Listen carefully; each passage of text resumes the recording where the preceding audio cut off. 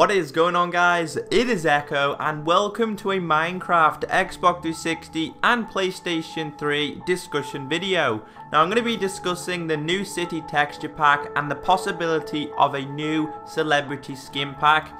We know the texture pack, the city texture pack is confirmed. It came from 4J Studios. But as for the possibility of a celebrity skin pack, this is all speculation made by the community.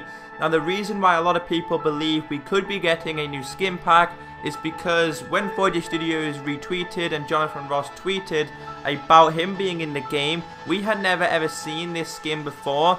Now I don't know whether this is to do with the texture pack itself or they're going to be bringing us a great surprise. But I want to know in the comments section, guys, what type of celebrities or who as a celebrity would you love to see in Minecraft? Because we have so many different skins available at the moment for the console version. I know we have more on Xbox because it's been out longer, but soon these will all be available on PlayStation 3.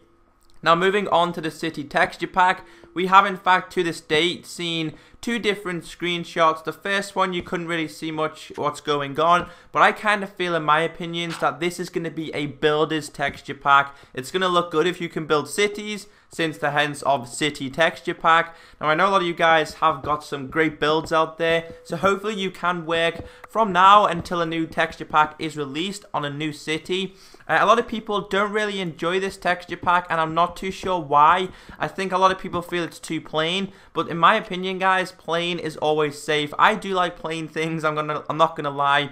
Uh, and a lot of the time I will be using the stuff uh, as a default texture pack. I always use a default texture pack but as 4J Studios did show us this image you can see on screen right now, it looks very, very good. It looks modern. It looks futuristic. And we're going to have so many different texture packs available. Now, the other question a lot of you guys are asking me is this is title update 14 being delayed for this texture pack now that is a great question and i'm going to answer in two different ways the second screenshot we've seen of the texture pack as you can see on screen here this is got title update 14 features available. You can see the carpets. So I'm kind of guessing that they will release this around the same time as title update 14. Or the other thing I do kind of feel they will do is release the texture pack when they send title update 14 to say testing because this keeps people enjoying the texture pack and waiting for title update 14 uh, a few people who don't know, it will be available probably for 160 Microsoft points. It's never ever expensive.